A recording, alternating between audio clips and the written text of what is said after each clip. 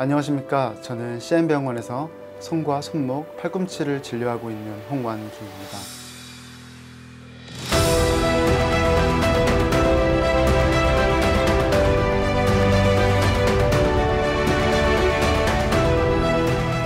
성인과 소아의 손과 팔꿈치의 외상, 관절염, 그리고 말초 신경 질환을 보고 있습니다.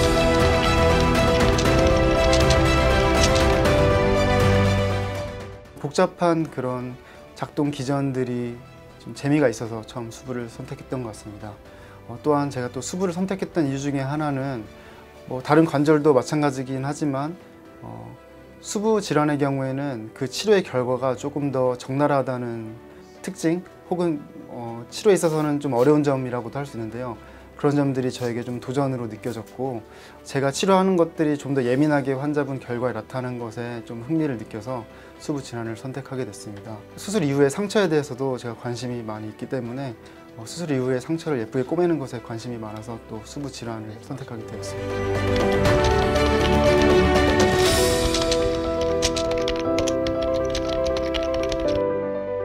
질환을 이겨내는 데에는 정확한 진단이나 치료만큼이나 환자분 본인이 그 질환에 대해서 정확히 이해하는 것이 중요하다고 생각합니다.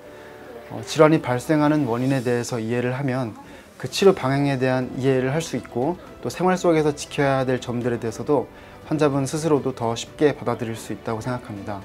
처음 진단 시에 이해를 돕는 그림이나 영상을 통해 환자분들을 이해시키고 환자분들이 치료를 받기만 하는 것이 아니라 같이 치료에 동참할 수 있도록 노력하고 있습니다.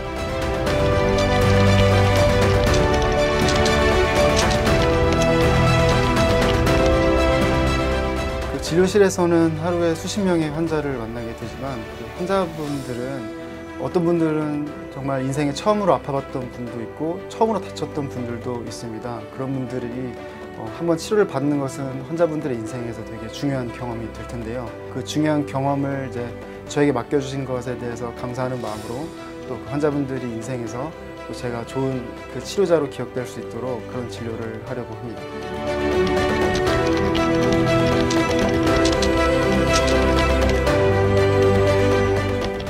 나의 진료는 기분 좋은 동행이다.